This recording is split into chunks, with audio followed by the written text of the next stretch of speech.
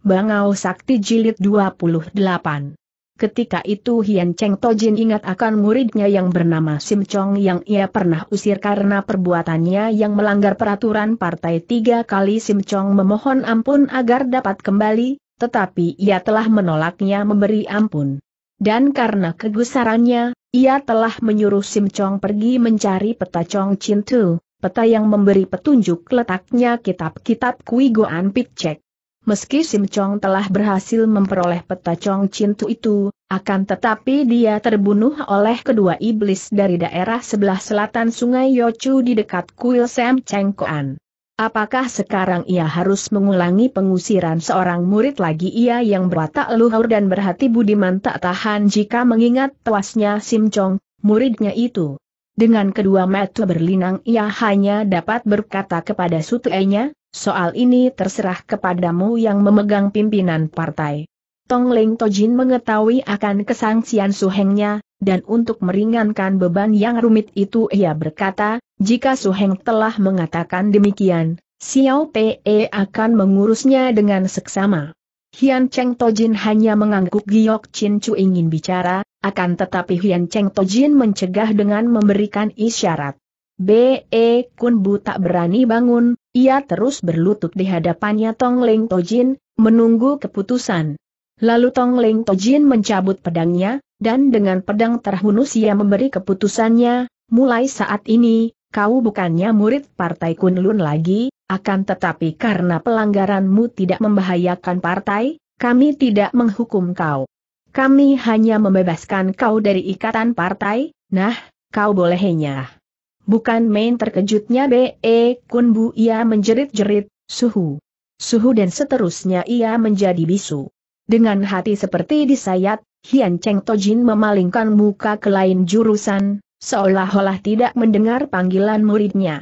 Sambil menangis B.E. Kun Bu loncat di hadapan gurunya dan memohon, Suhu, apakah Suhu betui-betui mengusir Teh Ocu? Dengan menahan perasaan hatinya, Hian Cheng Tojin berkata dengan sungguh-sungguh, Susyokmu yang memegang pimpinan partai telah memberi keputusan tidak mengakui kau sebagai murid lagi, hubungan kita sebagai guru dan murid juga sudah putus. Tanda petik. Jawaban yang menusuk hati itu membuat B.E. Kun Bu gelap mata ia menjerit sekali, lalu jatuh pingsan di hadapan gurunya. Li Cheng Lo dengan penuh kasih sayang mengangkat B.E. Kun Bu didudukan di tanah dan dipeluknya. Hian Cheng Tojin teringat kembali peristiwa muridnya, Sim Chong yang ia pernah usir, dan yang terbunuh mati oleh musuh ketika sudah dekat ia ia pejamkan kedua matanya, lalu berseru, ayo, kita berlalu. Tong Ling Tojin juga berkata, Leon Jie, ayo kita berlalu. Dengan perlahan Li Cheng Lon menengadah air matanya mengucur sambil menggeleng-gelengkan kepalanya ia menjawab, Supek dan suhu jalan lebih dulu. Aku akan menanti setelah Bu Koko Siuman kembali, baru bersama-sama dia pulang. Dengan wajah yang gusar Tong Ling Tojin membentak hayo, kita berlalu sekarang. Giok Chin Chu membujuk, B.E. Suhengmu telah diusir oleh supekmu, dia tidak boleh pulang ke pegunungan Kunlun. Li Cheng Lo letakkan tubuhnya B.E. Kun Bu di lanah, lalu ia berlutut di hadapan Giok Chin Chu seraya berkala, Suhu, apakah boleh jika aku tidak pulang ke pegunungan Kunlun? Giok Chin Chu yang telah mengetahui watak dan hatinya Li Cheng Lo menjawabnya dengan nada yang ramah, kau sudah menjadi muridnya Partai Kunlun, dan kau harus menuruti perintah guru dan paman-paman gurumu, jika supekmu memerintahkan kau kembali ke pegunungan Kunlun, kau harus segera jalan. Li Cheng Lon mendongak dan mengawasi awan-awan di langit dengan kedua mata berlinang, ia tak mengetahui apa yang harus diperbuatnya, lagi-lagi ia terjerumus ke dalam kesulitan tetapi kemudian ia berkeputusan dan berkata, jika demikian, aku minta Supek juga mengusir aku. Tak kuat hatiku meninggalkan Bu Koko di tengah gunung-gunung dalam keadaan demikian. Leon Jiech, Apakah kau betul-betul tidak sudi kembali ke pegunungan Kunlun? Tanya Giok Chin Chu. Sambil mengangguk Li Cheng Lon menjawab, aku pun sebenarnya tak dapat terpisah dari suhu, tapi, jika Bu Koko tidak turut, tiada gunanya aku pulang ke pegunungan Kunlun, aku tentu akan jatuh sakit. Jawaban itu membuat Giok Chin Chu ingat akan penderitaannya Li Cheng Lo dahulu hari. Jika Li Cheng Lo dipaksa pulang, itu berarti memaksa dia menderita lagi. Ketika ia memikiri Leong Giok Pin yang tidak diketahui jejaknya, maka dengan tidak turutnya Li Cheng Lon, ia akan kehilangan dua orang murid yang disayanginya seperti anak kandung.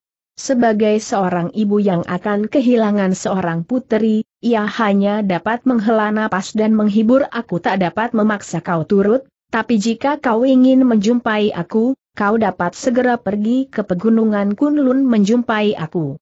Aku senantiasa tidak lupa kepada suhu jawab Li Cheng Lon.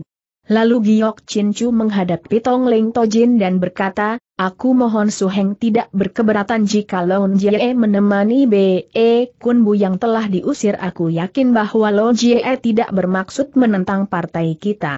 Tanda petik.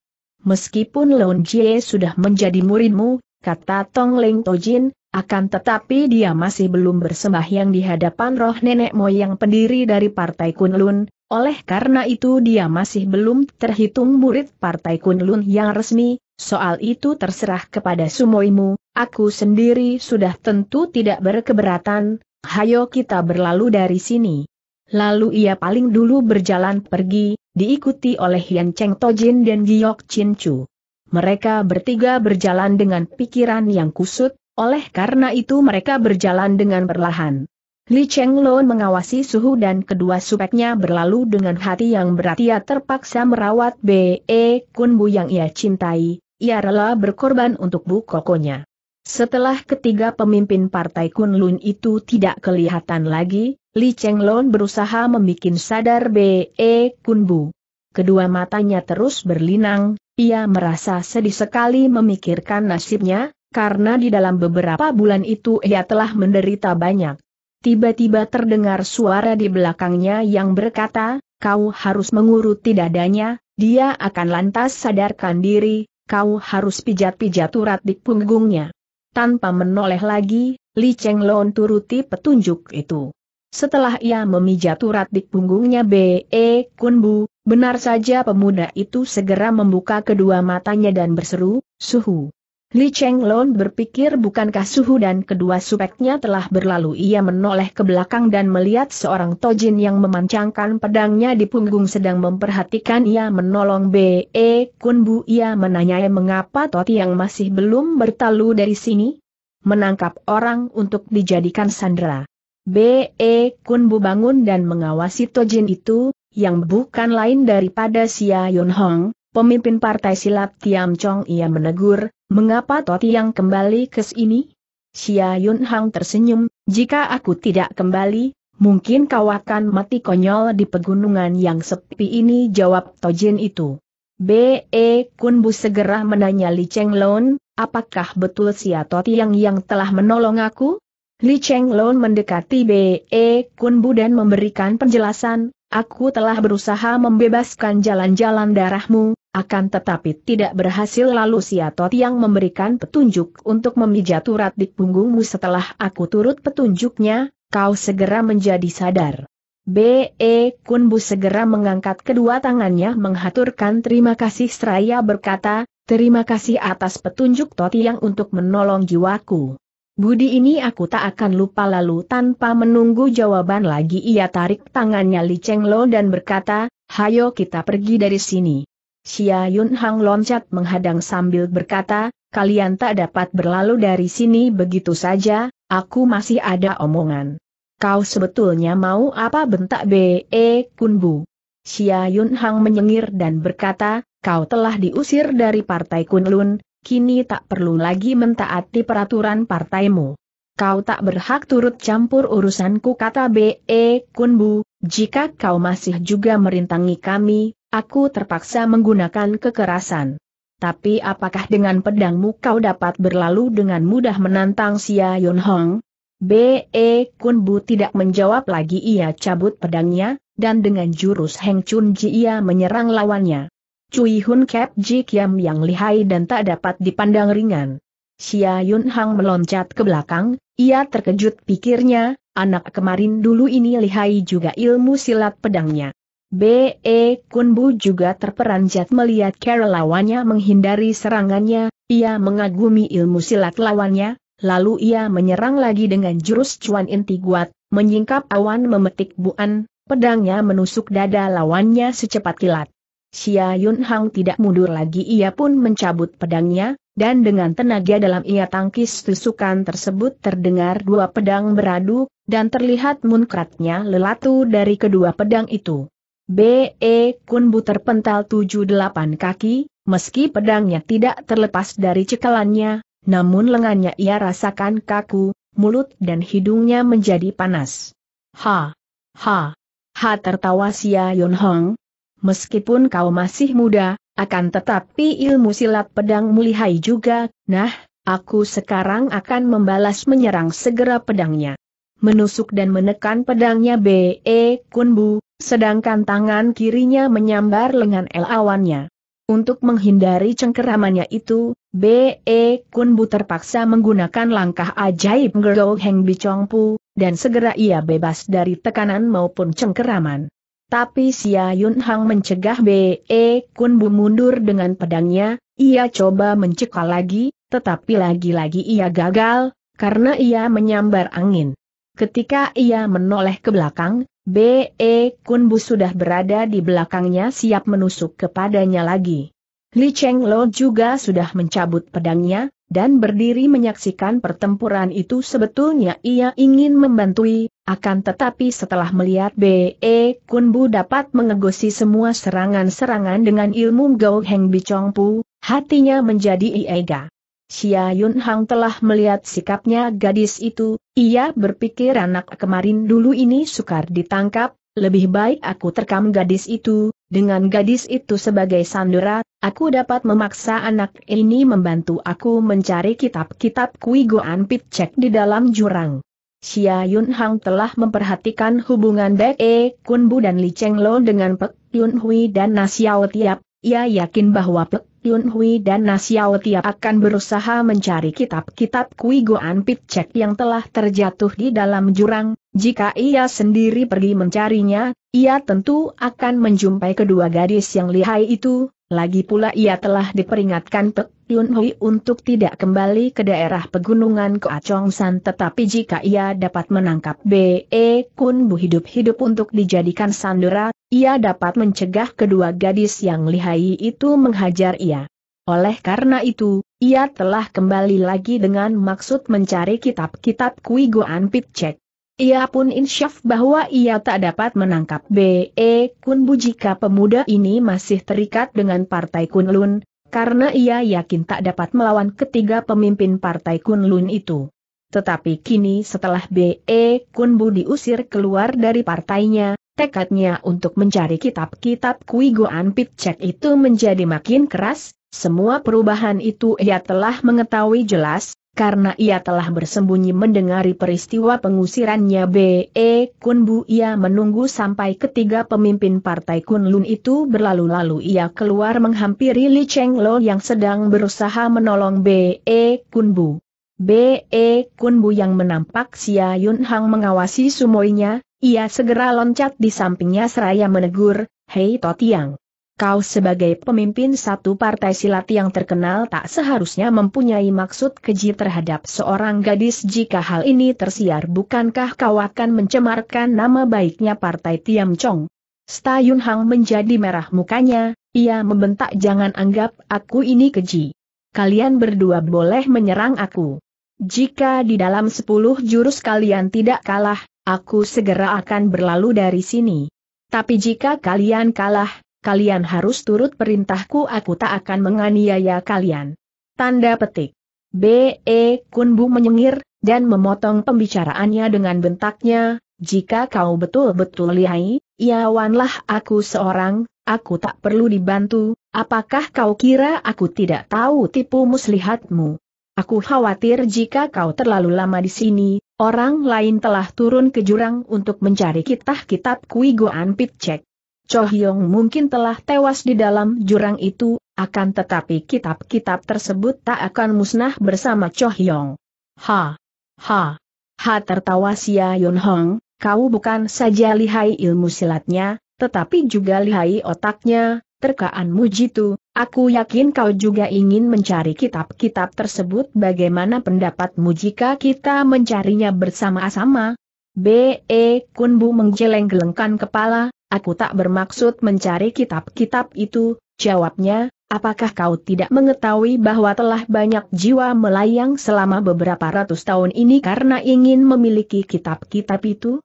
Tadi dengan metu kepala sendiri aku telah menyaksikan Cho Hyong telah terjungkal masuk ke dalam jurang yang dalam karena kitab-kitab itu. Mungkin juga mayatnya masih hangat. Aku menasihatkan kau, demi keselamatan jiwamu, lebih baik kau jangan mencari kitab-kitab itu. Kau telah memberi nasihat yang baik kepadaku. Terima kasih, berkata Sia Yun Hong. Tetapi soal kitab-kitab Kui Goan Pit Cek itu bukan soal kita berdua lagi soal itu telah menjadi soal orang-orang dari kalangan Buin, walaupun andai kata aku tidak mencarinya, pasti orang lain akan mencarinya, dan orang yang memiliki kitab-kitab itu akan menjadi jago di kalangan bulim. Aku ingin mencarinya hanya demi kepentingan semua jago-jago silat di kalangan bulim. Iya. Berhenti sejenak, lalu meneruskan. Sebetulnya aku sudah lama menyimpan pedangku, dan tidak sudi tahu menahu tentang peristiwa-peristiwa di kalangan bulim, sudah hampir 20 tahun aku bertapa di pegunungan Tiam Chong San, dan sudah lama aku tak ingin mencari nama lagi di kalangan Buin, jika Kasudi mencari kitab-kitab tersebut bersama-sama, setelah kita berhasil memperolehnya, aku akan bakar kitab-kitab itu di hadapanmu, dengan demikian kita dapat mencegah jago silat yang mana pun memiliki lagi kitab-kitab itu. B.E. Kunbu berpikir sebentar, lalu menjawab, Aku percaya akan kata-katamu. Tapi sayang, aku sebagai murid Partai Kunlun tak dapat membantu kau, jika kau masih juga ingin mencarinya, kau dapat melakukan sendiri. Tanda petik. Xia Yun Hang tersenyum dan berkata lagi, aku melihat dengan kepala metu sendiri bahwa kau telah diusir oleh Partai Kunlun, kini kau tidak terikat lagi dengan partai itu. Di samping itu, bukankah aku telah menjelaskan maksudku untuk membakar kitab-kitab itu jika kau masih juga menolak, aku terpaksa. Tanda petik. Dengan kesempatan itu ia meloncat maju dan menusuk B.E. Kunbu. Tusukan itu dilakukan dengan tiba-tiba dan secepat kilat, di luar dugaannya B.E. Kunbu. Namun B.E. Kunbu masih dapat menarik Li Cheng Lon ke samping sambil mengegosi tusukan tersebut lalu dengan jurus Inbu Kim Kong, sinar terang memancar di awan, ia putar pedangnya melindungi Li Cheng Lon sambil melindungi dirinya sendiri. Tapi betapapun lihainya ilmu silat pedang Cui Hun Cap Jikiam, B.E. Kunbu kalah tenaga daripada Sia Yun Hong. Cheng, dua pedang beradu, dan terlepaslah pedangnya B.E. Kunbu dari cekalannya lalu Sia Yun Hang meloncat maju dan mencekal pergelangan tangannya Li Cheng Lon, sedangkan pedang di tangan kanannya menusuk tiga kali beruntun ke dadanya B.E. Kunbu dengan jurus Sam Seng Tui Guat atau tiga bintang mengejar bulan. Dengan ilmu langkah ajaib Gerou Heng Bicong Pu, B.E. Kunbu berkelit diri dari ketiga totokan pedang itu, dan mengangkat tinju menjotos punggungnya Sia Yun Hong, tapi Sia Yun Hong sudah siap, ia menyabet jotosannya B.E. Kunbu, lalu loncat ke samping sambil membetot Li Cheng Lon. Li Cheng Lon telah terekal tangannya, karena ia terperanjat ketika menyaksikan pedangnya B.E. Kunbu terlepas dari cekalannya, dan Sia Yun Hang yang lihai lebih lihai daripada mereka berdua telah berhasil mencekal pergelangan tangannya secepat kilat lalu ia loncat ke samping sambil membetot Li Cheng Lon. Demikianlah pertarungan itu berlangsung dengan seru sekali tanpa ada orang yang terluka, karena maksudnya Sia Yun Hang hanya menangkap Li Chong Lon untuk dijadikan sandra dan kemudian memaksa B.E. Kunbu. Lepaskan Sumoi Kubek E. Kunbu mengancam. Xia Yun Hang yang telah berkali-kali gagal menangkap B.E. Kunbu, sudah mulai mengagumi ilmu silatnya, dan ia pun tak berani melawan dengan acuh tak acuh LGI, ia mengumpulkan tenaga dalamnya, siap menyambut jotosannya B.E. Kunbu. Betul saja B.E. Kunbu menjotos, Sia Yun Hang tidak mengegos, dengan ilmu Lui Kang Kong Kie Husin, ilmu tenaga dalam menjaga tubuh, ia menerima jotosan tersebut dengan bahunya, sambil terus memegang erat-erat pergelangan tangannya Li Cheng Lon, lalu ia mengancam, jika kau masih menyerang aku, aku terpaksa menotok jalan darah sumo imu untuk melumpuhkan seluruh tubuhnya hektometer, geram B.E. Kunbu dengan gusar mustahil seorang pemimpin partai silat yang terkenal berbuat demikian keji terhadap seorang perempuan yang masih muda dan icmah, jika peristiwa ini aku umbarkan, di manakah kau dapat menaruh mukamu?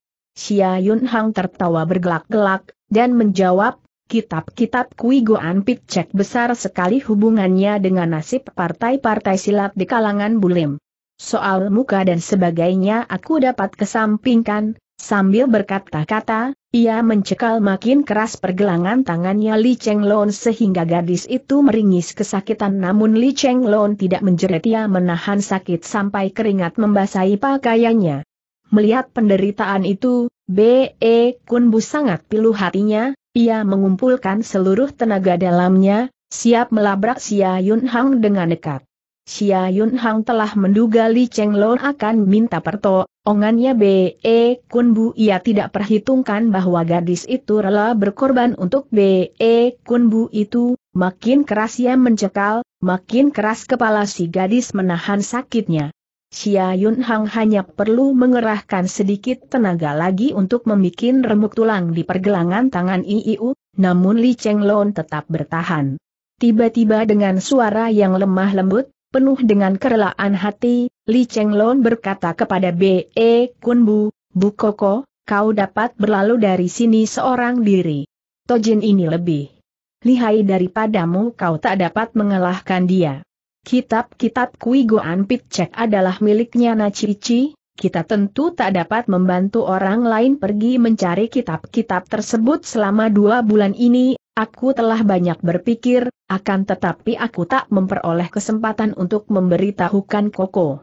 Tanda petik. B.E. Kunbu membentak untuk mencegah Li Cheng Lon mengeluarkan isi hatinya, ia cabut pedangnya dan berkata dengan suara yang keras, jika kita harus mati, kita akan mati bersama-sama lalu ia menyerang Xia Yun Hong.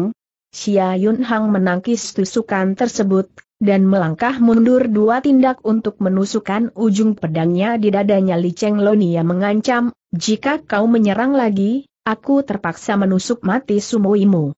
Baru saja B.E. Kunbu ingin menyerang lagi, tetapi setelah mendengar ancaman itu, ia segera tarik kembali pedangnya, tiba-tiba Li Cheng Lon menjerit, Bu Koko, jangan peraya ancaman Tojin yang licik ini, sedikit pun aku tak takut mati en. Ia menyeka air matanya dengan tangan kirinya, lalu meneruskan, Tojin ini busuk sekali, jika dia yang memiliki kitab-kitab Kui Goan Picek, dan telah berlatih, dia pasti akan melakukan banyak perbuatan yang keji. Dia tahu bahwa Bu Koko akan melakukan apa saja untuk membela aku dan dia akan paksa Bu Koko membantu dia mencari kitab-kitab Kui Goan Picek. Tanda petik. Siapa bilang aku menipu dia kata Sia Yun Hang dengan marah. Lalu ia tekan pedangnya sedikit sehingga menusuk pakaiannya dan juga tubuhnya Li Cheng Lon sehingga keluar darah menodakan pakaiannya. Totiang, jangan teruskan tusukanmu seru B.E. Kunbu. Bu Koko kata Li Cheng Lon, biasanya aku selalu turut. Perkataan Koko, kini aku mohon Koko turuti perkataanku. Hancurlah hatinya Bek E. Kunbu mendengar permintaan gadis itu, ia menjawab, sebutlah. Tojin yang licik ini ingin mencari kitab-kitab Kui Goan Picek, kata Li Cheng Lon, akan tetapi dia takut menjumpai Pek Cici dan Na Cici, oleh karena itu dia hendak paksa kau membantu dia mencarinya, jika kau menolak, dia akan mengancam membunuh aku. Jika dia menjumpai Pek Cici atau Na Cici, dia akan mengancam membunuh mati Bu Koko, karena aku yakin bahwa Pak Cici, maupun Na Cici akan mengalah untuk menolong Bu Koko, dengan tipu muslihatnya yang keji itu, dia akan memperoleh kitab-kitab Kui Goan Pit Cek. Harus kita ingat, Pek Cici sangat baik terhadap kita, aku kira jika kita mati, dia akan bebas dari kekhawatirannya, maka aku minta Bu Koko lekas-lekas berlalu dari tempat ini, dan jangan gubris ancamannya ia mengakhiri permintaannya dengan senyuman yang penuh dengan kasih sayang, lalu dengan wajah yang tenang ia menanti nasibnya. Meskipun B.E. Kunbu melihat bahwa Li Cheng Lon tak takut mati dan rela berkorban untuk orang-orang yang dicintainya, namun ia tak tega menuruti kehendaknya ia berdiri terpaku, ia tak berdaya. Kesempatan ini digunakan oleh Xia Yun Hang untuk mengancam lagi, aku sudah lama tidak membunuh orang, sekarang aku memperlihatkan kepadamu. Aku tidak percaya bahwa sumoimu tidak takut mati. Lalu ia mengerahkan seluruh tenaga dalamnya untuk meremukan tulang di pergelangan tangannya gadis itu. Tapi setelah melihat wajah yang tenang dari gadis itu, ia terperanjat tiba-tiba ia melepaskan cengkeramannya, dan loncat mundur tiga langkah sambil berkata, Hayo, kalian enyah dari sini. Aku Sia Yun Hang tak akan membunuh seorang yang masih muda. Lekas enyahlah. B.E. Kun Bu loncat ke sampingnya Li Cheng Lon, dan mengangkat kedua tangannya menghaturkan hormat seraya. Berkata, Bu Toti yang hari ini, aku B.E. Kun Bu tak akan lupakan. Memang Xia Yun Hang sudah mulai lunak hatinya ketika mendengar kata-kata Li Cheng Lon, dan ia sangat malu terhadap maksud dan perbuatannya ketika melihat wajah yang tenang dan tak takut mati dari Li Cheng Lon. Gadis itu mengawasi Xia Yun Hang sejenak, lalu menanyai Ha. Kau tidak membunuh mati aku, Toti yang ternyata masih berperi kemanusiaan. Kata-kata itu bagaikan pisau yang menusuk hatinya Xia Yun Hang, ia sangat malu, ia membalikan tubuh dan lari pergi. Terima kasih atas pertolongan Toti yang terhadap Bu Koko tersenyum Li Cheng Lon. B.E. Kunbu berkesempatan memandang gadis yang rela berkorban untuknya, dalam pandangannya, gadis itu sederajat dengan seorang dewi, ia merasa malu akan perbuatannya yang lampau, yang membuat gadis itu menderita. Bu Koko, kata Li Cheng Lon, suhu dan kedua supek berlalu dengan berjalan perlahan-lahan, akan tetapi Toti yang itu berlalu dengan berlari pesat sekali.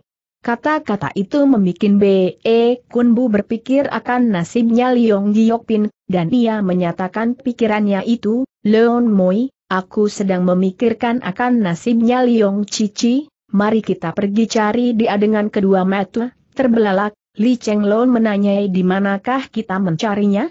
B.E. Kun Bu tak dapat menjawabnya, ia menundukkan kepalanya berpikir ketika ia mengangkat kepalanya lagi, ia menghela napas sebelumnya berkata, betul, ke manakah aku harus pergi?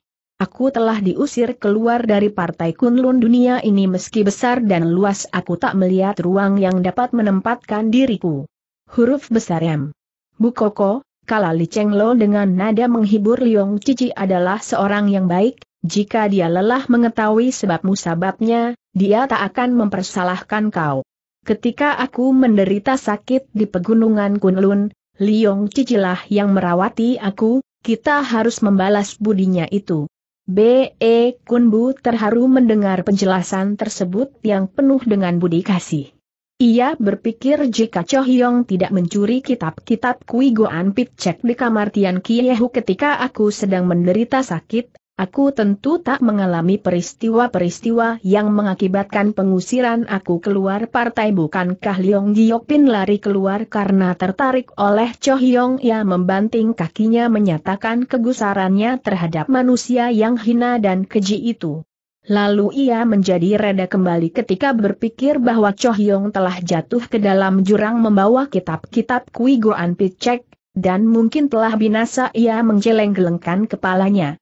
Kemudian di pegunungan yang sunyi senyap itu terdengar suara seruling yang memilukan hati sehingga membuat suasana menjadi makin suram dan seram. Sejenak kemudian B.E. Kunbu berdiri tegak dan berseru, mengapa dia datang ke pegunungan ini? Li Cheng Loan juga menjadi heran mendengar seruan itu ia ingin menanya, ketika dari jauh datang menghampiri seorang wanita yang mengenakan pakaian serba hitam sambil meniup seru iing, wajahnya pucat pasi, Li Cheng Lo pernah melihat wanita itu ketika B.E. Kunbu menderita sakit di dalam goa, dan ia pun segera mengenainya. Hanya di sebelah pipinya ada tanda bekas bacokan, wanita itu adalah Giok Sian Chu. Setelah tiba di hadapan B.E. Kunbu, wanita itu berhenti meniup seru iingnya, ia pandang Li Cheng Lon, lalu memandang B.E. Kunbu ia hanya tersenyum tidak menanya. B.E. Kunbu masih belum hilang kebingungannya. Peristiwa-peristiwa yang lampau kembali lagi ia tak dapat mengerti mengapa jago silat wanita yang terkenal sebagai iblis ini juga tetah jatuh hati kepadanya. Melihat kedua orang tidak bicara, Li Cheng Lon menghampiri Giok Sian Chu dan berkata, Cici, kita berjumpa lagi di sini.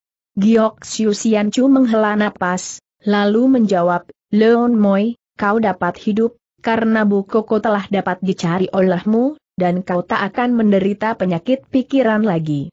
Tahun yang lalu, Li Cheng Lon telah menderita sakit hebat di puncak Kim Teng Hang di pegunungan Kunlun karena merindui B.E. Kunbu, dan Giok Sian Chu pernah menerobos masuk ke daerah pegunungan Kunlun untuk memenuhi janji mengadu silat melawan Hian Cheng Tojin.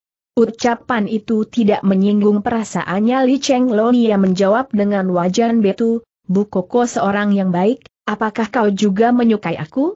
Pertanyaan itu membuat B.E. Kunbu terkejut ketika itu matahari sudah terbenam, angin meniup sepoi-sepoi, dan dalam suasana demikian, Li Cheng Lon yang mengenakan pakaian putih nampaknya seperti satu bidadari. Giok Siu Sian Chu yang mengenakan pakaian serba hitam, sebaliknya menimbulkan kesan yang sedih. B.E. Kunbu telah melihat bekas bacokan di pipinya wanita itu, ia ingat akan peristiwa wanita itu menolong jiwanya sehingga terluka. Heng Tue, kau tentu merasa heran mengapa menjumpai aku di sini kata Sian Chu. Jika aku sampai saat ini masih hidup, aku tak lupa bahwa kaulah yang pernah menolong jiwaku, jawab B.E. Kunbu. Tanpa pertolonganmu mungkin aku sudah dibunuh mati oleh Cho Hyong.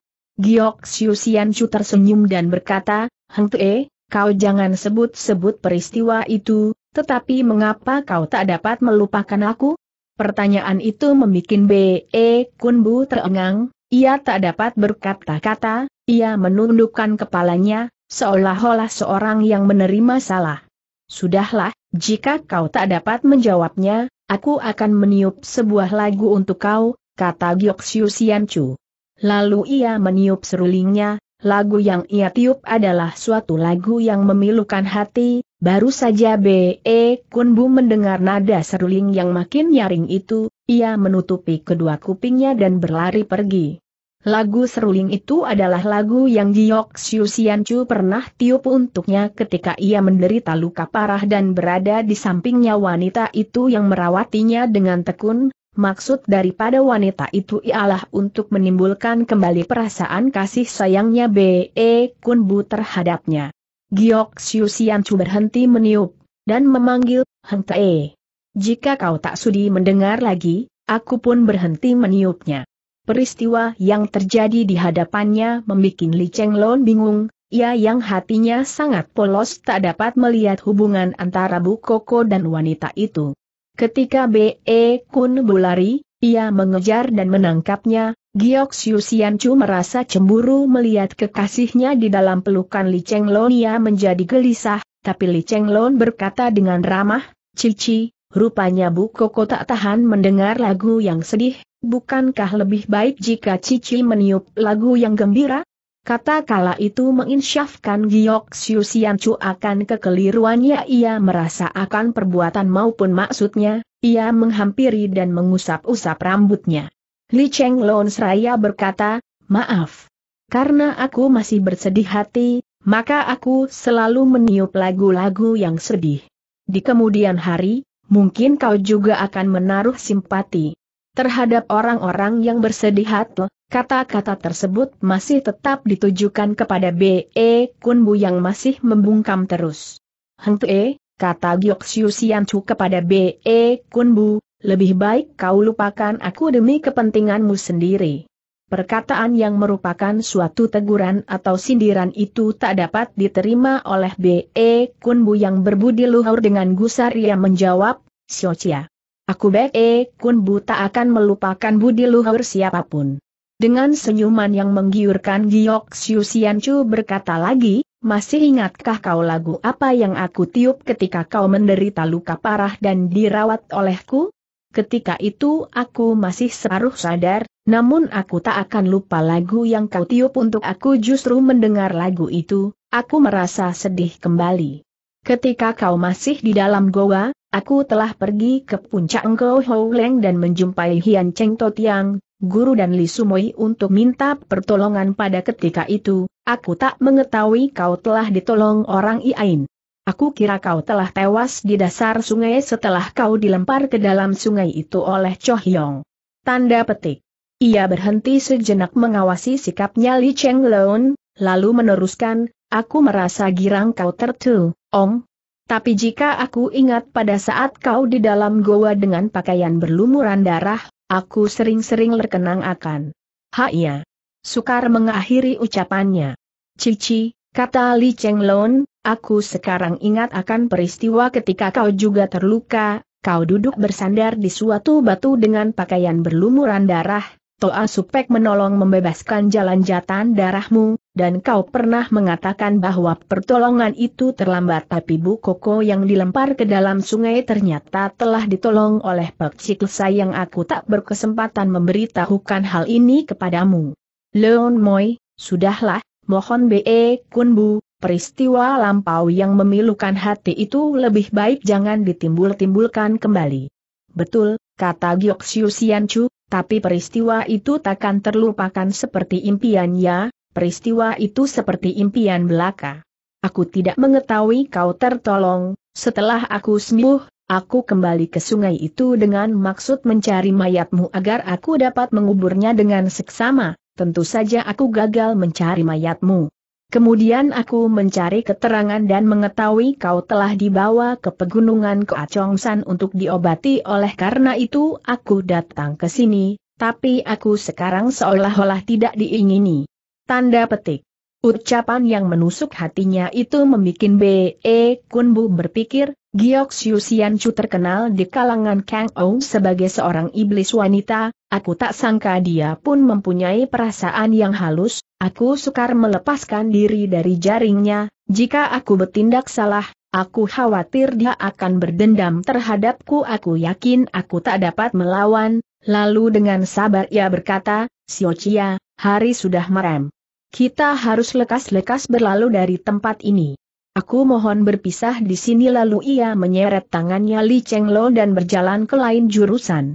Dengan satu loncatan Giok Siu Sian Chu menghadang di depan mereka ia mengancam, Heng Tue, kau ingin berlalu begitu saja?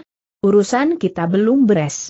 B.E. Kun Bu gentar melihat wajahnya yang beringas, tapi Li Cheng Lon berkata sambil tersenyum, jika kau tak mengizinkan kami berlalu, kau pun boleh turut kami bersama-sama. Sebetulnya Giok Siu Sian Chu ingin menghantam gadis itu yang ia anggap sebagai saingannya yang terbesar tetapi setelah melihat sikapnya yang ramah dan mengetahui keluhuran budinya, ia tak sampai hati menghantamnya. Lalu ia menanya, Leon Moi, aku ingin kau berpisah dari buku kamu, apakah kau setuju? Seperti halilintar di tengah hari, Li Cheng Lon terperanjat mendengar pertanyaan itu ia terpaku dan menjadi bisul. B.E. Kunbu menjadi gusar, dan dengan tak terasa ia memegang gagang pedangnya, siap membela sumuinya. Justru pada saat itu yang tegang itu, di malam yang sunyi senyap itu terdengar suara orang meraung. Mereka menoleh ke jurusan suara tersebut, dan di bawah sinarnya rembulan, mereka tampak seorang Huosio yang berpakaian jubah abu-abu dan memegang sebuah periuk tembaga tengah mendatangi ke arah mereka. Ketika tiba di hadapan mereka, Hwasyo itu membungkukkan tubuh memberi hormat seraya menegur kalian baik-baik saja. Toa suhu kata Giok Siu aku tidak menduga menjumpai kau di sini. Mengapa kau tidak kembali ke pegunungan Gergodisan? Urusan apakah yang menahan kau di sini? Tio Cheng Taisu menyengir Romi Tsuhu pujinya, Mungkin kau masih ingat bahwa di pegunungan Gerodisan aku telah mengatakan aku tak segan membunuh lagi. B.E. Kunbu terkejut mendengar kata-kata itu. Ia mengerti mengapa Huashio ini ingin membunuh, perselisihan apakah yang membuatnya dia demikian nekatnya, ia ingin menanya, tetapi Giok Siu Chu bicara lagi, di pegunungan Gerodisan, aku telah dijotos sekali olehmu, itu aku tak lupa, kebetulan sekali kita berjumpa lagi di sini, dan aku memperoleh kesempatan menghajar hutang jotosan itu. Segera terlihat Tong Pun Hio mengumpulkan tenaga dalamnya siap sedia bertempur melawan musuhnya, B.E. Kun Bu yakin bahwa pertempuran tak dapat dihindarkan lagi ia ingat ketika di pegunungan Gerodisan, karena Giok Siu Sian Chu ingin melindungi ia, wanita itu kena pukulan Tio Hui Ski Tio Hui pun kena disodok oleh serulingnya, akan tetapi Giok. Siu Sian Chu kena dipukul punggungnya oleh Tio Cheng sehingga muntah darah. B.E. Kun Bu bermaksud meredakan mereka dengan minta Tio Cheng Huasio memandang kepadanya sebagai orang dari partai Kunlun yang pernah menolong Godi, tetapi ia ingat lagi bahwa ia telah diusir oleh partai Kunlun ia tak dapat mencapai maksudnya itu. Kegelisahannya B.E. Kun Bu telah diperhatikan oleh Tio Cheng, dan ia berkata, aku sangat menghormati Hian Cheng Totiang, dan aku tak sudi menyakiti hati kalian berdua, kau ajaklah sumoimu pergi dari sini. Aku tak berurusan dengan kau. B.E. Kun Bu terkejut, ia pun merasa heran terampur girang, untuk sementara waktu ia tak dapat menjawab, Li Cheng Lo yang tak memikirkan akibatnya, menjawab, jika Toa Supek dan Ji Supek masih dapat memaafkan mungkin Bu Koko dan aku sudah kembali ke pegunungan Kunlun, dan tidak perlu kami berdiam lama di sini. Tanda petik. Ha, kata Tong Pun Hoshio dengan heran, apakah partai Kunlun mengusir dua muridnya yang baik? B.E. Kunbu merasa sedih dan mau, ia cabut pedangnya dan ingin menyerang, tapi Giok Siu Sian Chu membentak, Heng Tue, tahan ini adalah urusanku, hutang jotosan itu akulah yang harus memikin Huoshio ini yang membayarnya ucapan itu ia barengi dengan satu sodokan secepat kilat ke dadanya Tong Pun Hue Siu. Tapi periuk tembaga Tong Pun Huoshio sudah siap menahan sodokan seruling maut itu dengan jurus Taisan Apteng, Gunung Taisan menahan Taufan, dan mendorong ke tubuhnya Giok Siu periuk tembaga yang berat itu ditambah dengan dorongan tak dapat ditahan oleh Giok Siu Chu. Dengan menjejakkan kedua kakinya, ia loncat ke atas, melalui di atas kepalanya si Huo Xiu, dan menyodok lagi punggung lawannya dengan seruling batu gioknya. Tapi Huo Xiu itu bukan lawan yang ringan, secepat kilat ia berbalik dan menahan lagi sodokan itu dengan periuk tembaganya, Giok Siu Chu tidak menyodok satu kali, setelah sodokan pertama gagal, ia menyodok lagi beruntun tiga kali. Tiba-tiba Tong Pun Hwasyo menggeram, dan ia meloncat ke kiri dan ke kanan seolah-olah ia sedang berlari-lari dengan periuk tembaganya, sinar yang memancar dari periuk tembaga itu di bawah sinar rembulan menyilaukan mata. Terdengarlah suara gaduh beradunya seruling dan periuk tembaga itu. Selama beberapa puluh jurus mereka bertempur dengan seru sehingga sukar dilihat mana sebetulnya lebih lihai ilmu silatnya. B.E. Kunbu dan Li Cheng Lon menyaksikan pertempuran kedua jago silat itu dengan penuh perhatian. Ah, sekarang adalah kesempatan baik bagiku untuk melepaskan diri dari jaring si wanita iblis itu. Tapi dia pernah menolong jiwaku, jika dia tak menolongnya, mungkin aku telah menjadi abu. Aku tak dapat berlalu setelah melihat dia berada dalam bahaya. Li Cheng Lon menyentuh lengannya B.E. Kunbu dan berbisik, Bu Koko, Giok Siu Sian Chu itu rupanya bukan seorang yang baik, tidak perlu kita bantu, hayo, kita berlalu. B.E. Kunbu tidak menjawab, ia gelisah sekali ia tak dapat berlalu begitu saja, tapi Li Cheng Lon menyeret padanya, ia terpaksa mengikuti tapi satu bayangan hitam tiba-tiba berada di depan mereka, Heng Teetek UJP bayangan hitam itu. Kau tak dapat melarikan diri. Apakah kau tidak merasa malu akan perbuatanmu yang tidak layak itu? Li Cheng Lon yang belum mengetahui sedang dalamnya hubungan antara Bu Kokonya dan wanita itu menjawab dengan suatu senyuman terpaksa, Cici, kau tak dapat mempersahkan Bu Koko. Aku iah yang menyeret dia berlalu dari sini. Ketika itu Tong Pun Shio juga sudah datang menghampiri dan menegur lagi, Hei, Lia Hiap. Bukankah kau hendak memaksa aku membayar hutang jotosan? Aku tidak lari, aku hanya khawatir kedua orang ini melarikan diri, jawab Giok Siu Siancu, aku tidak kecentar melawan kau. B.E. Kun Bu tak dapat diam lagi ia berkata, Sio Chia lelah menolong jiwaku, budi itu aku tak akan lupakan. Tetapi apa maksudmu menahan aku? Giok Siu Siancu tidak berani menyatakan apa yang dikandung di dalam hatinya di depan Tong Pun Ho Shio dan Li Cheng Lo ia hanya mengawasi Bech Kun Bu dengan kedua mata, terbelalak. Hei, Li Hiap. Jika kau tidak muai, aku yang akan mulai menyerang bentak Tong Pun Ho Shio. Giok Siu Siancu habis sabar ia membentak kembali, Ho Shio gadungan. Apakah kiramu aku takut kepadamu lalu secepat kilat ia menyerang Shio itu dengan jurus Bue E Hwa Samelong, tiga patukan burung ke atas bunga Bue E, dan terlihat serulinya menotok kepala, lalu dada dan perutnya si Shio sehingga Shio itu menjadi kelabakan. Sodokan-sodokan yang dilancarkan secepat kilat itu dan bertubi-tubi itu sukar dijaga, dan Tong Pun Shio harus menangisnya dengan jurus Pangintok Jit, awan gelap menutupi matahari. Justru pada saat Tong Pun Shio terdesak itu, dari satu jurusan datang berlari iari seorang Niko setengah tua. Niko itu adalah Tio Hui, sumoinya Tong Pun Shio. B.E. Kunbu merasa heran mengapa Tio Hui juga belum berlalu dari pegunungan ke San, dan dengan pedang terhunus ia menjaga Tio Hui seraya membentak, Unlu maksud apakah kau datang kembali ke sini? Tio Hui tidak menjawab, ia hanya mengawasi B.E. Kunbu dengan perasaan jemu dan kebencian. Tong Pun Shio setelah berlalu dari pegunungan ke San masih tak dapat melupakan kitab-kitab Kui Goan Picek, maka ia kembali pula dengan maksud berusaha mencari lagi kitab-kitab ajaib itu di dalam jurang. Tio Hui telah melihat hubungan yang erat di antara B.E. Kunbu dan So Hang, maupun hubungan di antara B.E. Kunbu dan Pek Yun Hui.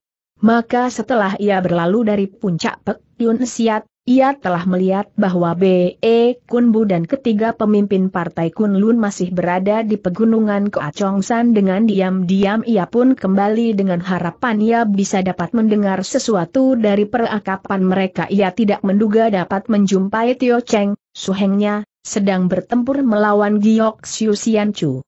Li Cheng Lon berkata kepada B.E. Kunbu, Bu Koko, mungkin kembalinya Niko ini karena hendak membantui suhengnya, tapi aku kira Giok Siu Chu masih dapat memberi hajaran kepada mereka.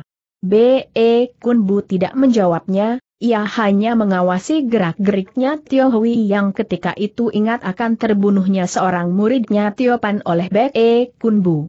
Dengan penuh kebencian Tio Hui tiba-tiba menusuk B.E. Kunbu dengan jurus Pek Hang Anjit, pelangi putih mencari surya. Tusukan pedang yang sekonyong-konyong itu mengejutkan semua orang yang melihatnya, dan mungkin B.E. Kunbu tertusuk jika ia tidak lekas-lekas menggunakan ilmu langkah ajaib Gergo Heng Bicong Pu. Secepat kilat ia sudah berada di belakangnya Tio Hui yang menusuk angin. Dengan berat hati mengusir saudari seperguruan.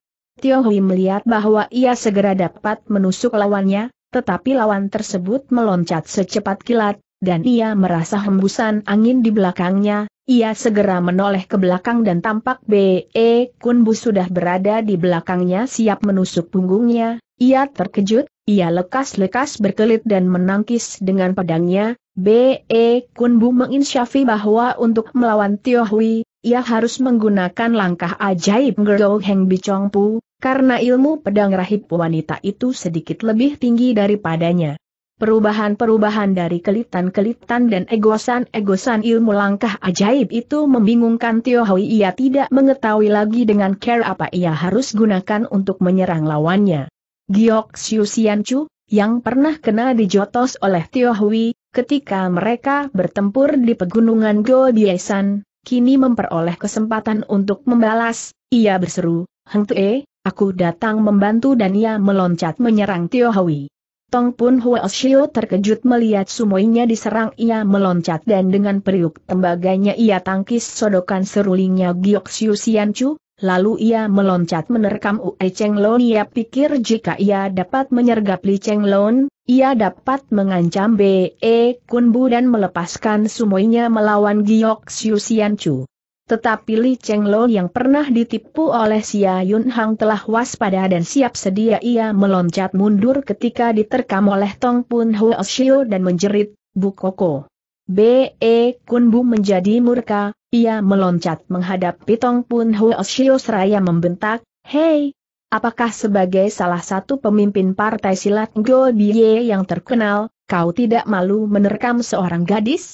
Teguran itu betul-betul membuat Tong Pun Hio menjadi malu, tetapi dalam keadaan yang terdesak itu, ia harus bertempur dengan B.E. Kun Bu yang segera menyerang dengan pedangnya, Li Cheng Lo juga sudah mencabut pedangnya dan bersama-sama B.E. Kun Bu memberikan perlawanan kepada si Hio.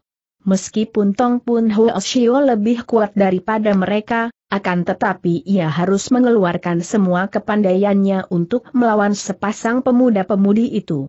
Di pihak Giok Siu Sian Chu yang sudah bertekad membalas dendamnya terlihat ia menyerang dan mendesak lawannya dengan jurus Mo In Kap Wei E Chao, mencakarawan dengan 18 jurus.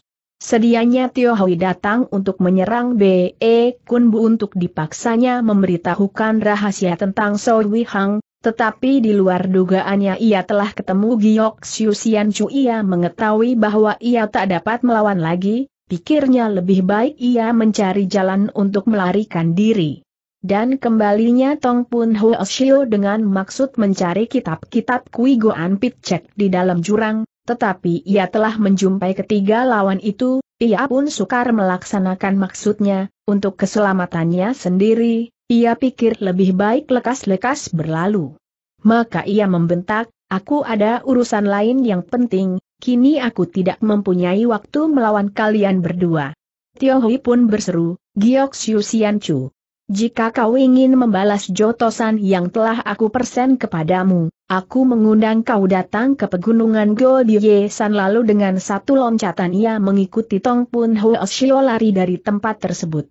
Tapi Giok Chu segera mengejarnya. B.E. Kun Bu hanya mengawasi mereka berlari-lari.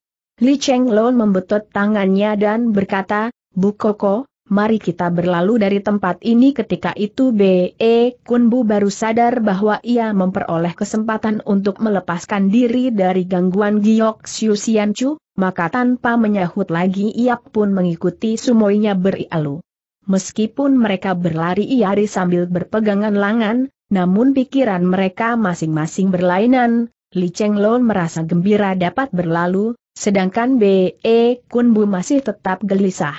Ketika mereka tiba di suatu lembah yang agak sempit, B.E. Kun Bu melepaskan pegangannya Li Cheng seraya berkata, Sumoi aku minta kau berjalan di belakang. Lalu dengan tidak menunggu jawaban Li Cheng ia berjalan lebih dahulu menuju ke suatu gua. Mereka terus masuk ke dalam gua yang gelap, agaknya B.E. Kunbu telah mengetahui jalan di dalam gua itu, ia dapat berjalan dengan cepat, diikuti terus oleh sumuinya. Sebetulnya Ue Cheng Lun ingin menanya ke mana mereka akan pergi, akan tetapi ia khawatir mengganggu suhengnya maka tak jadilah ia menanya. Lalu dari ujung gua terlihat sinar rembulan, Li Cheng Lon berlari lebih cepat untuk dapat berjalan berdamping-dampingan dengan suhengnya, ia terkejut ketika ia melihat kedua matanya B.E. Kunbu berlinangkan air mata, ia peluk B.E. Kunbu dan menanya, Bu Koko, mengapa kau bersedih hati ia teringat akan penderitaan yang lampau, penderitaan jiwa maupun raga, tetapi kesemuanya itu tertolong oleh Perut Yun Hui. B.E. Kunbu tersenyum, tapi dengan rupa yang sedih. Leon Moi, aku mempunyai suatu urusan yang sukar aku ucapkan, tetapi sekarang aku akan menceritakan kepadamu dan setelah kau mendengarnya, kau akan melihat bahwa aku ini bukannya seorang yang sempurna, banyak sekali perbuatan-perbuatanku yang dapat membuat kau muak dan jemu. Mungkin juga kau akan membenci aku setelah kau mengetahuinya. Melihat sikap dan nada yang sungguh-sungguh ketika Baik Kun Bu memberitahukan isi hatinya. Li Cheng Lon hanya tersenyum dan berkata, Bu Koko, apakah Koko kira aku tidak mengetahui? Apakah Koko masih ragu-ragu terhadap kasih sayangku terhadap Koko? Sudahlah, Koko tak usah menceritakan. Aku hanya ingin Koko tetap mencintai aku. B.E. Kunbu menarik napas, lalu sambil menunjuk ke arah kamar batu di depannya, ia berkata, apakah kau melihat kamar batu itu? Li Cheng Lo dapat lihat kamar batu di dalam gua itu, dan ia menjawab, mengapa kau menanya? Mari kita periksa. B.E. Kunbu menuntun Li Cheng Lo jalan menuju kamar batu itu, dan Li Cheng Lo mengikuti tanpa banyak bertanya lagi. Setelah kita mencari Liong Cici, aku akan bicara lagi kata B.E. Kunbu. Lalu ia pun masuk ke dalam kamar batu di dalam gua itu, tetapi ia menjadi terperanjat ketika ia menemui kamar batu itu kosong. Ke mana Liong Giok Pin telah pergi pikirnya, Sikapnya ini membuat Li Cheng Lon menanya, Bu Koko, apalagi yang kau pikirkan?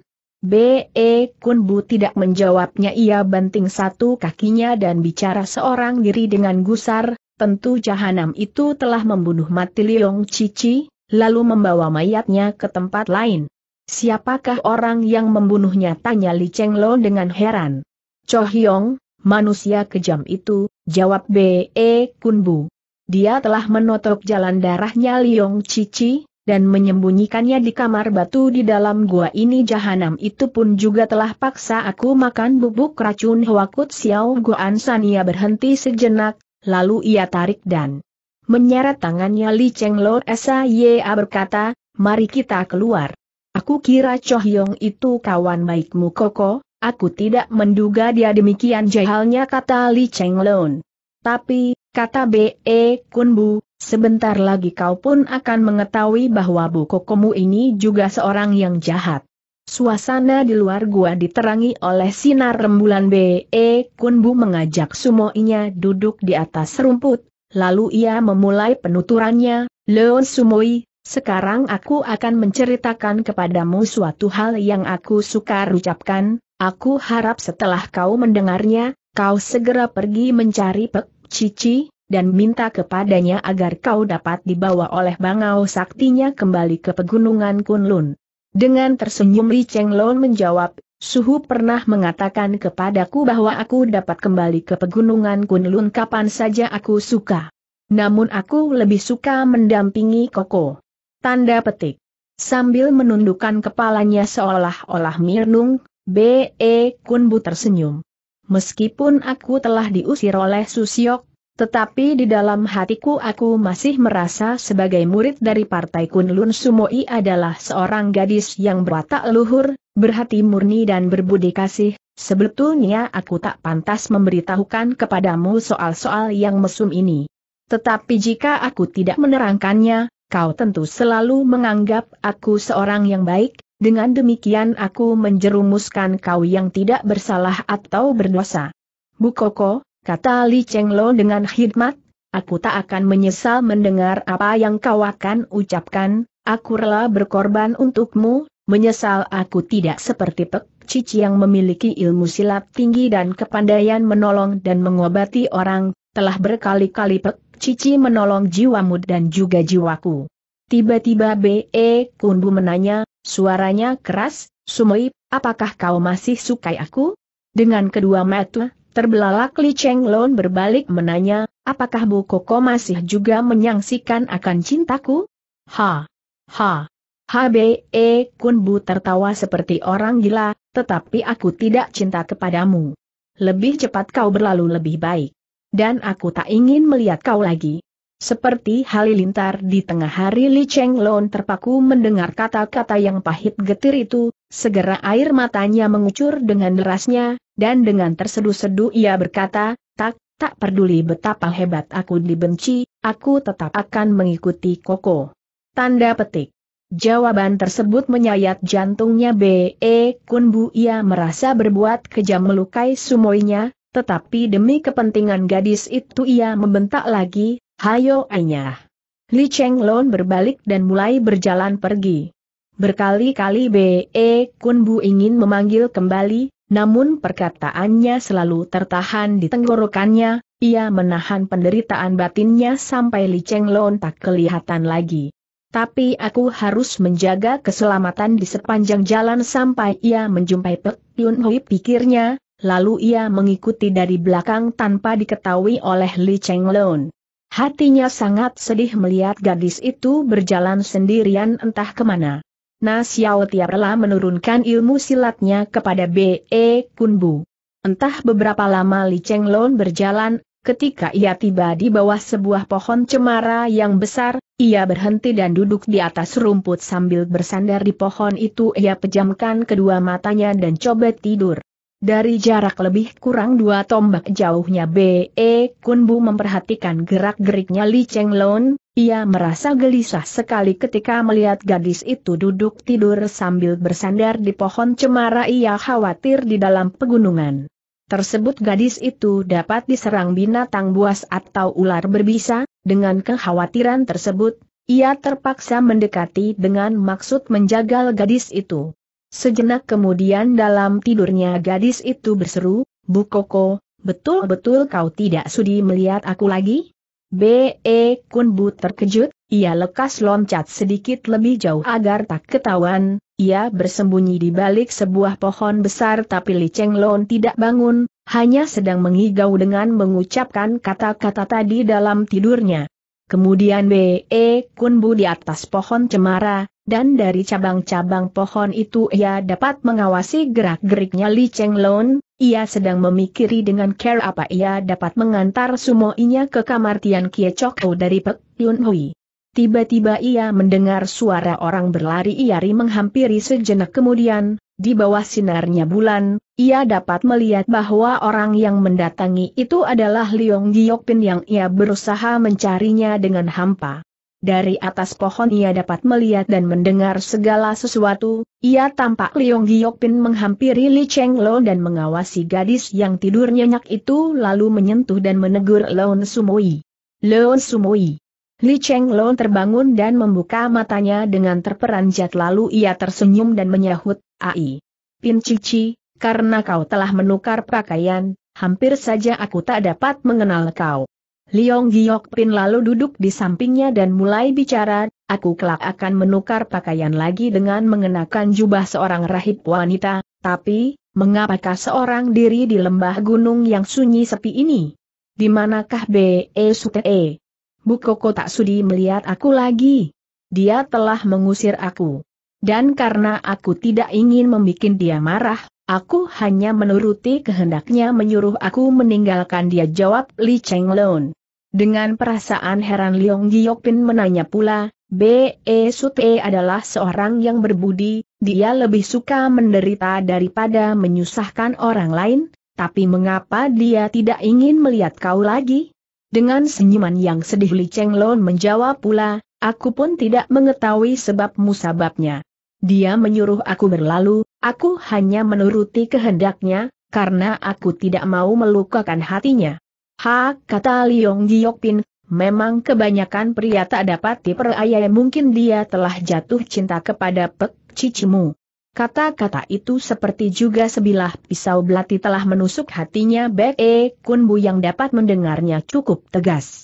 Li Cheng Lon menggelengkan kepalanya, Pek Cici seorang yang baik, dan kita tak dapat membusukinya. Kau betul-betul satu malaikat, seru Liong Giokpin kamu masih dapat mengampuni orang yang merampas kekasihmu. Tanda petik.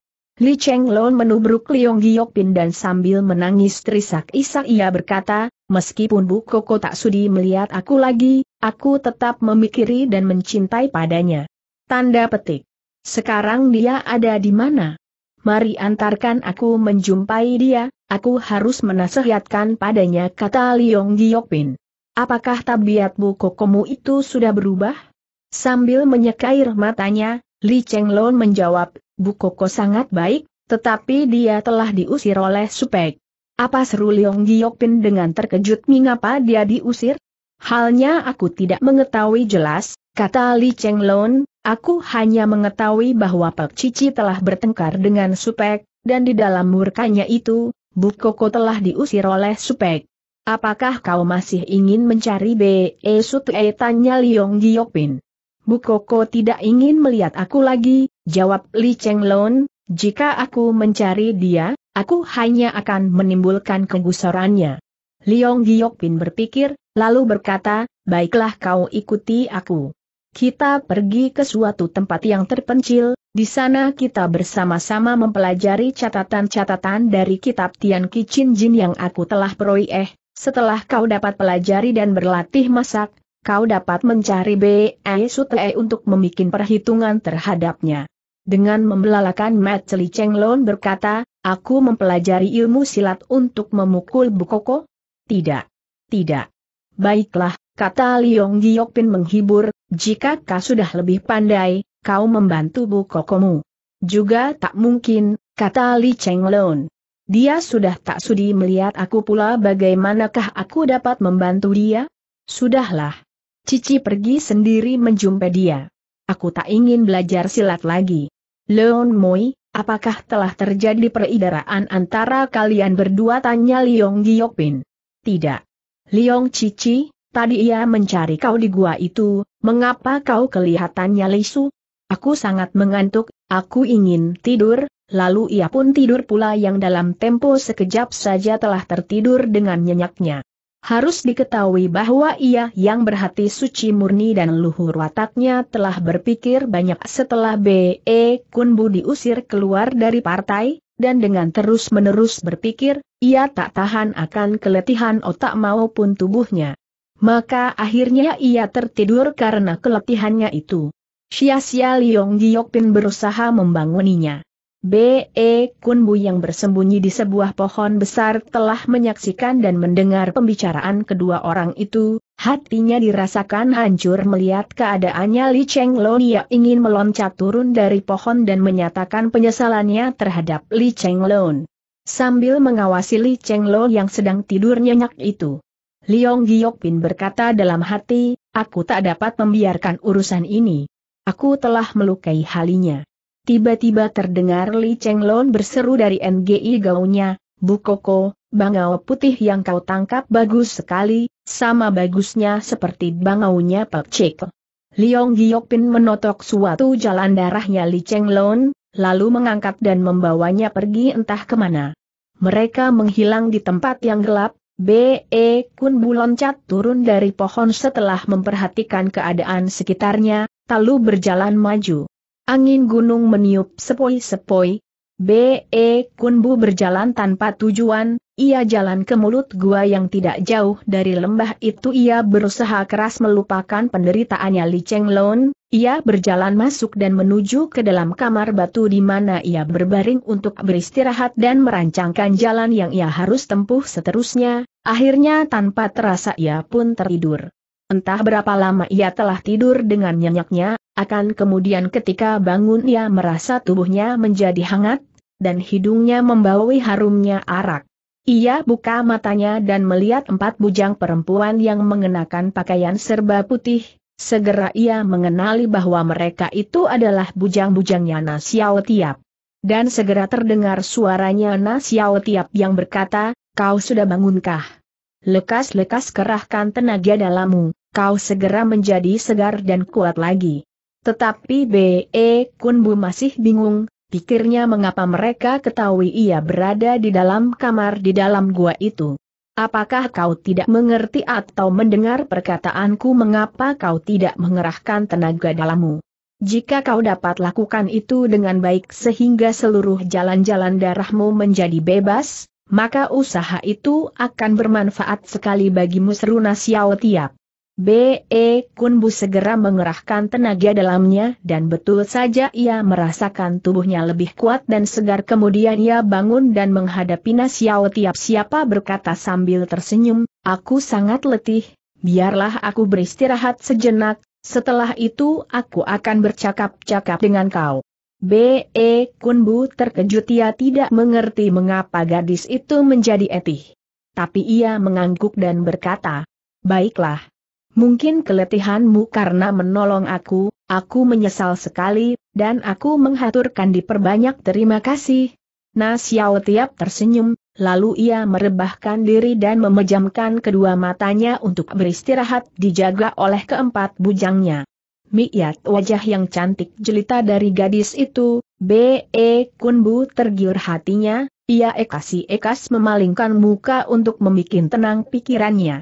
Selang beberapa saat kemudian Nasiao Tiap membuka kedua matanya, dan sambil duduk menghadapi B.E. Kunbu ia berkata, aku sudah tidak letih lagi sekarang kita dapat berakap cakap. Sambil menundukkan kepalanya B.E. Kunbu menyahut aku menghaturkan banyak terima kasih atas pertolongan Xiao sekarang aku minta diri. Lalu ia berbalik dan berjalan keluar. Kau hendak pergi ke mana tanya Na Xiao Tiap dengan heran. B.E. Kunbu menghentikan langkah kakinya, ia menoleh ke belakang dan menjawab, aku hendak pulang menjumpai ayah bundaku, kemudian aku akan ia tidak meneruskan. Kata-katanya, ia hanya menarik napas lalu berjalan lagi. B.E. Siangkong, tunggu dulu. Aku ada sedikit omongan, kata Nasiao Tiap. B.E. Kunbu berhenti dan menoleh ke belakang lagi ia melihat Nasiao Tiap sedang menghampiri apakah kau membenci aku tanya gadis itu ketika berada di sampingnya. Tidak. Dia tak membenci kau. Dia mempunyai banyak musuh yang mengacaukan pikirannya terdengar jawabannya seorang wanita, dan B.E. Kunbu segera mengenali bahwa wanita itu adalah Pek Yun Hui yang dalam sekejap saja sudah berada di sampingnya. B.E. Kunbu mundur dua langkah, dan sambil merangkap tangan menghaturkan hormat. Ia berseru, Pek Xiaoqia. Mengapa kau masih bersusah hati? Apakah karena kau telah diusir oleh susyokmu tanya Pek Yun Hui? Ha! Apakah kau juga telah menyaksikan ketika aku diusir tanya B.E. Kunbu dengan terperanjal? Tidak, jawab Pek Yun Hui, aku hanya menduga, setelah aku mengetahui watak susyokmu, yang sangat keras itu. Karena aku telah menolong Partai Kunlun beberapa kali, terutama menolong kau, dia menjadi tidak senang, tapi dia tidak berani marah terhadapku, dia hanya mencurigai kau, tetapi kesalahanmu tidak seberapa besar, maka dia hanya mengusir kau dari Partai Kunlun, tidak menghukum mati. Apakah Pek Xiaoqia sengaja membuat Susyoku marah dan mengusir aku tanya B.E. Kunbu? Tidak. Ketika aku bertengkar dengan Susyokmu, aku telah membuatnya gusar terhadap kau. Aku tidak sangka dia sampai mengusir kau, jawab Pek Yun Hui. Jika seorang murid diusir oleh gurunya, itulah suatu hal yang sangat memalukan soal ini tak dapat dipandang remeh, kata B.E. Kunbu. Tentang hal itu kau jangan buat pikiran, nanti pada pertengahan bulan delapan lain tahun, Partai Tian Liong lelah mengundang semua jago-jago silat dari kesembilan partai silat untuk mengadu silat Partai Silat Tian Liong lelah membuat persiapan selama 20 tahun untuk maksud tersebut. Menurut pandanganku pertarungan pada waktu itu akan merupakan suatu pertempuran yang merusak dan menyedihkan jago-jago silat dari kesembilan partai silat akan sukar berlalu dari daerah sebelah utara Provinsi Kuichiu, harus diketahui bahwa jago-jago silat dari partai Tian Liong memiliki ilmu silat luar biasa dan cerdik pula, yang kesemuanya itu diperoleh partai Tian Liong adalah karena tanda petik B.E. Kunbu mendengari uraian gadis yang hanya baru berusia 20 tahun lebih itu dengan penuh kekaguman, karena di samping memiliki ilmu silat yang sakti, pun sangat berpengalaman dan sangat luas pengetahuannya. Tiap-tiap pemimpin partai Tian Liong dan cabang-cabangnya itu dapat menandingi tiap-tiap pemimpin dari kesembilan partai silat lawannya. So Penghai yang menjadi ketua umum partai itu memiliki ilmu Kan Goancit, jari sakti, yang tak dapat digempur oleh siapa pun dari kesembilan partai lawannya. Pek Yun Hui meneruskan. Dengan tak dapat menahan nafsunya, B.E. Kundu memotong, jika demikian, maka pertarungan itu hanya akan membuat semua partai silat lawannya menderita kekalahan. Segala sesuatu yang belum terjadi sukar ditafsirkan, kala Pek Yun Hui, hanya menurut pandanganku jika satu lawan satu, maka tidak seorang lawan dapat menandingi So Peng Hai. Meskipun dia telah berusia lanjut, namun tenaganya kuat sekali, aku belum pernah dapatkan orang yang sekuat dia. Tetapi, menurut kabar, untuk menghadapi Partai Tian Liong, Partai-partai silat Xiao Lim dan Butong juga telah membuat persiapan selama 10 tahun lebih, terutama ilmu silat Xiao Lim yang terkenal itu. Di dalam kuil Xiao Lim Si, mereka mempunyai kitab ilmu silat Tatmo Keng yang tidak kalah hebatnya daripada kitab-kitab Kui Goan Pit Cek. Hanya kitab Tatmo Keng itu tertulis dalam bahasa Urdu, yang bagi kebanyakan orang sukar dibaca, sayang sekali di dalam beberapa ratus tahun sedemikian banyaknya Huoshio Huoshio di kuil Xiao Lim Si itu belum ada yang dapat membaca kitab tersebut. Maka kitab sakti itu hanya disimpan saja, apabila di antara orang-orang partai Xiao Lim dapat membaca catatan-catatan itu, dan berlatih menurut petunjuk-petunjuk yang tertera dalam kitab itu, maka akibatnya tentu akan menjadi berlainan sekali. Seperti orang Dungu B.E. Kunbu mendengari uraian itu, dan tak terhingga kekagumannya terhadap gadis yang berpengetahuan demikian luasnya. Orang-orangnya Partai Silat Tian Liong dapat dikatakan tersebar di mana-mana dan terdiri dari segala macam sifat dan watak. Tiap-tiap gerak-gerik dari kesembilan Partai Silat akan diketahui oleh mereka, pertarungan pada pertengahan bulan delapan lain tahun tidak akan berakhir dengan kalah atau menang. Misalnya Partai Tian Liong yang menang, maka pertarungan antara partai-partai silat akan berakhir tetapi jika Partai Tian Liong yang kalah, mereka akan berusaha dengan segala tipu muslihat untuk membuat pembalasan ia berhenti dan merenung sejenak, lalu sambil menghadapi B.E. Kunbu menanya, apakah kau masih berniat kembali ke Partai Kunlun?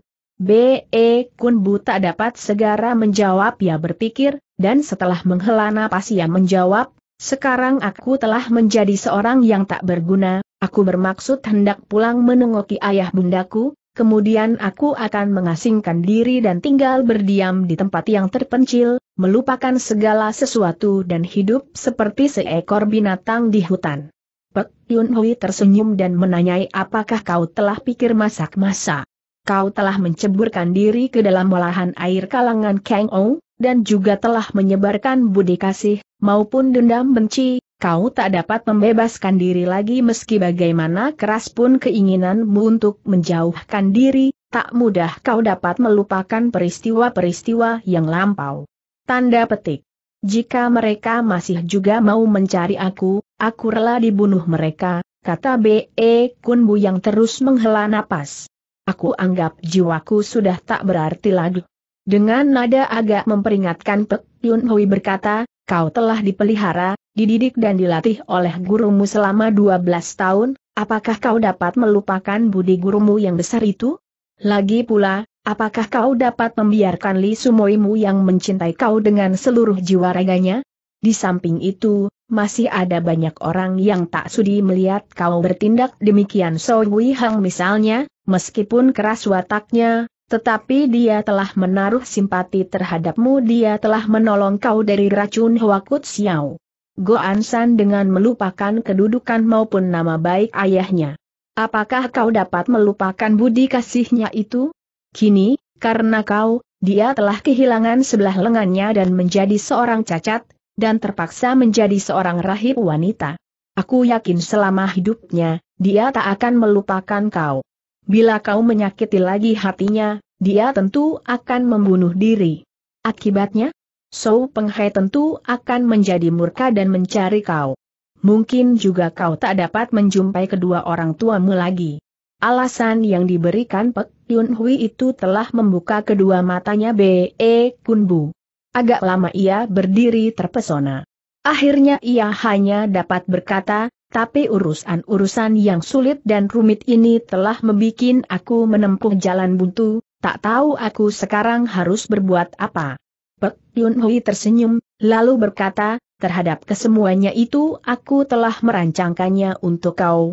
Hanya aku khawatir kau tak sudi mendengarnya. Aku suka menuruti petunjuk Cici jika petunjuk itu beralasan, jawab B.E. Kunbu.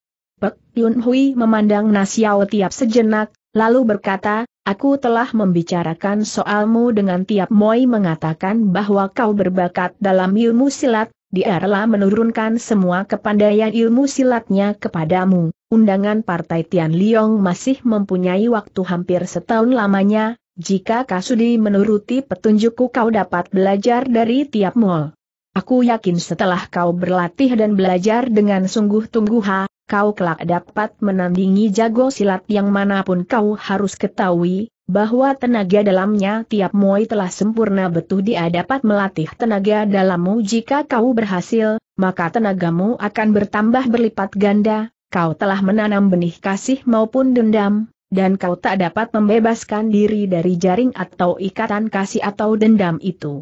Jalan yang terbaik bagimu ialah berlatih dan memperdalam ilmu silatmu, agar pada suatu hari kau dapat menjagoi di kalangan bulim untuk membalas dendam atau membalas budi kasih. Mungkin juga pada waktu itu, kau dapat membayar dosa-dosamu untuk diterima kembali oleh Partai Kunlun tentang Lon Moy, dia pun memiliki bakat dalam ilmu silau. Jika dia berhasil memperoleh guru, dia pun dapat memperdalam ilmu silatnya, soalmu itu kini tak dapat menjadi beres dengan maksudmu untuk mengasingkan atau membunuh diri ya berhenti untuk memperhatikan sikap-sikapnya B.E. Kunbu, lalu meneruskan. Cobalah kau pikir masak-masak, apakah kata-kataku ini beralasan? B.E. Kunbu menundukkan kepala berpikir agak lama sebelumnya ia dapat menjawab perhatian dan kasih sayang Cici terhadapku besar sekali, aku tak dapat membalas budimu itu. Tanda petik. Kau tak usah berpikir yang bukan-bukan, kata Nasiao tiap memotong, aku rela mengajarkan dan menurunkan semua kepandaian silatku kepadamu. Pek Cici akan mengajarkan kau ilmu silat pedang dan pukuan, dan aku pun akan mewariskan kau kepandaianku dari kitab-kitab Kui Goan Cek. Kita bertiga akan bersama-sama mempelajari jurus-jurus silat dari catatan-catatan kitab-kitab Kui Goan Cek, aku yakin kita akan berhasil. Lalu ia pejamkan kedua matanya, dan sambil kedua tangan diangkat ke atas ia berkata di dalam hatinya, LBU. B.E. Siang Kong adalah seorang yang baik. Aku rela mengajarkan dia ilmu silat dia adalah kekasihnya Li Cheng Lon, dan aku tidak mencintai dia. Sikap itu membuat B.E. Kun Bu dan Pek Yun Hui terperanjat lalu Pek Yun Hui menegur, tiap moi, B.E. Siang Kong telah setuju, dan siap menghadapi pertarungan nanti pada pertengahan bulan delapan lain tahun, untuk mengejar waktu, lebih baik kita segera memuainya. Kau harus ingat, berhasil atau gagalnya usaha kita ini bersandar atas dirimu seorang. Na Xiao tiap membuka matanya, dan berkata, baiklah, mari sekarang kita mulai. Lalu Pek Yun Hui menanya B.E. Kunbu, ketika kau diusir dari Partai Kunlun, bagaimanakah sikap nyali sumuimu? Dia menyertai aku, dia tak sudi mengikuti suhu dan susyoku kembali ke pegunungan Kunlun jawab B.E. Kunbu. Mengapa sekarang dia tidak ada bersama kau tanya Pek Yun Hui? Pang Xiuye terpaksa menggunakan pasir beracunnya. Pertanyaan tersebut bagaikan sebilah pisau tajam menusuk hatinya Bek E Kunbu. Tak terasa air matanya mengucur keluarlah membantingkan sebilah kakinya dan berseru dengan gemas, aku ini betul-betul seorang kejam. Dia yang demikian murah hati dan tak bersalah, aku tak seharusnya mengusir padanya, aku tak pantas berdiri sejajar dengan seorang malaikat. Pek Yun Hui terkejut mukanya segera menjadi pucat, ha, kau mengusir dia. Apakah kau tidak pikir akan akibatnya jika dia ditinggalkan seorang diri? Lalu dengan suara terputus-putus B.E. Kunbu menuturkan halnya bagaimana ia telah mengusir Li Cheng Lon. Leon Mui betul-betul seperti malaikat kata Pek Yun Hui. Dia sudah dijaga oleh Leong Giokpin, kau tak usah pikirkan lagi, kau harus tinggal dengan tenang di kamar Tian Kiciok Huku. Tiap Moy akan mengajarkan kau mempertebal tenaga dalammu, selama itu, aku akan berusaha mencari Leon Moy. Semoga aku berhasil dapat mencari padanya, dan aku bawa dia ke tempatku dan minta tiap Moi mengajarkan ilmu silat kepadanya, dengan demikian nanti pada pertengahan bulan delapan lain tahun, kau dapat tambah satu pembantu yang berkepandaian tinggi. Tiap-tiap kata-kata yang penuh dengan kasih sayang dan untuk kepentingannya membuat B.E. Kunbu sangat terharu, ia hanya dapat menghela napas seraya berseru, Budi Cici aku betul-betul tak dapat membalas, aku sangat beruntung sekali dapat menjumpai dan mengenal Cici. Pek Yun Hui menggoyang-goyangkan tangannya, sudahlah, jangan kau sebut-sebut tentang Budi pula, aku merasa gembira sekali kalau dapat berbuat sesuatu untukmu tetapi pandangan maupun kata-kata Cici seperti seorang nabi. Aku, MBE Kun Bu tak dapat meneruskan kata. Katanya, sehingga Nasyao Tiap dan Pek Yun Hui tersenyum. Lalu kau ingin mengutarakan apa lagi tanya Pek Yun Hui. Sudahlah, kata Nasyao Tiap, Cici tak usah memaksa dia bicara lagi, aku yakin dia senantiasa menuruti petunjuk Cici. Belum tentu, kata Pek Yun Hui. Betulkah tanya Na Xiao Tiap sambil menoleh dan memandang B.E. Kunbu. Tiap Xiao telah menebak jitu, jawab B.E. Kunbu, aku akan senantiasa menuruti petunjuk Pak Cici.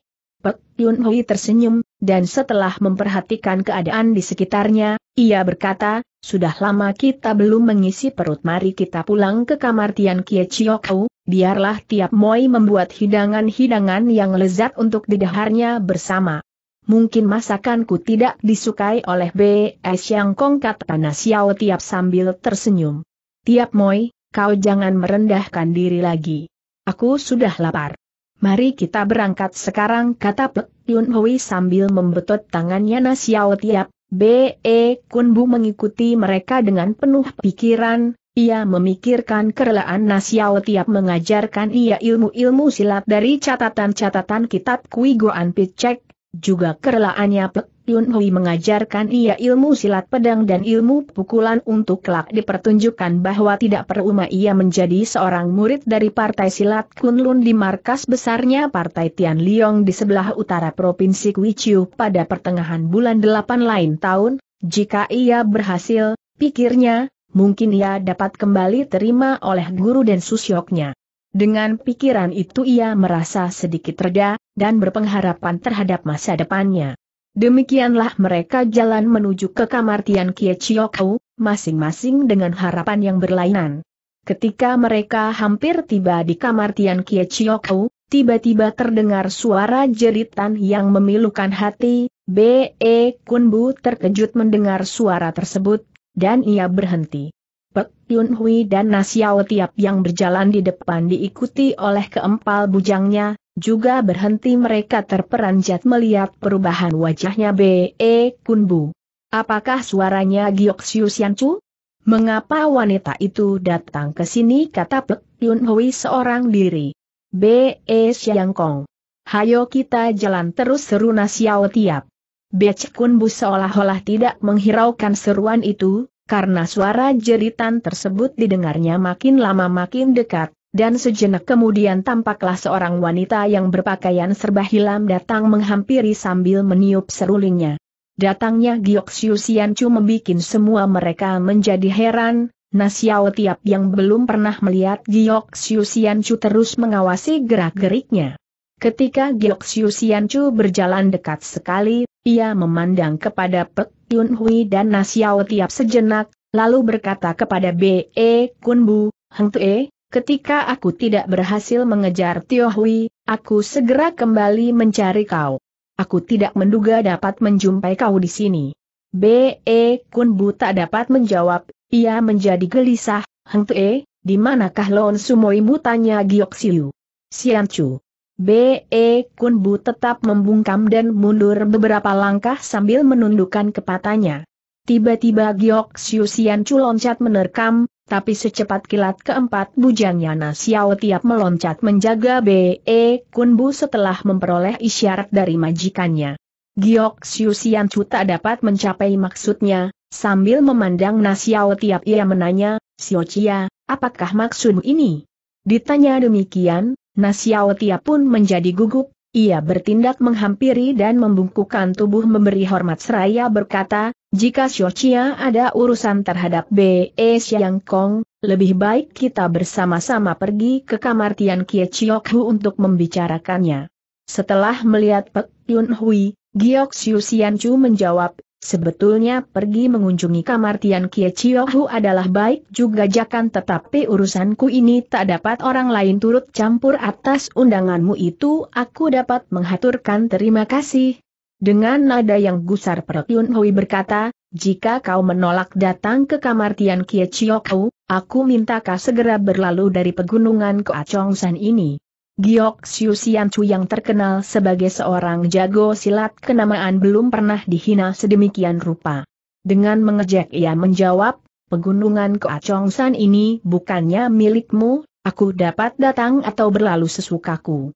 Kau tak dapat melarang atau mencegahnya lalu ia siap menyerang tapi Bek Kun Bu berseru, aku tak akan lupa budimu yang pernah menolong jiwaku, tapi jika Xiao terus-menerus mengikuti aku, aku tidak dapat melayani.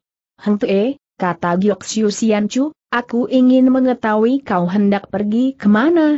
Sebetulnya B.E. Kun Bu hendak pergi ke kamar Tian Kie Chiok Hu untuk belajar silat dari Xiao Tiap dan Pek Yun Hui menurut petunjuk-petunjuk dari kitab-kitab Kui Goan Picek, tetapi ia tak sudi memberitahukan hal tersebut, bahkan ia tidak menjawabnya. Kegelisahan itu telah dilihat oleh Giok Chu, ia berkata lagi, Heng Tue, aku datang untuk suatu permintaan apakah kau dapat mengabulkan? Jika permintaanmu itu beralasan, aku tentu dapat menyanggupinya jawab B.E. Kunbu. Aku ingin menyertai kau keluar dari pegunungan Keacongsan ini mencari Li Sumoimu kata Giok Chu yang segera membetot tangannya B.E. Kunbu. Betotan itu dilakukan secepat kilat sehingga B.E. Kunbu tidak berkesempatan menghindarkan diri.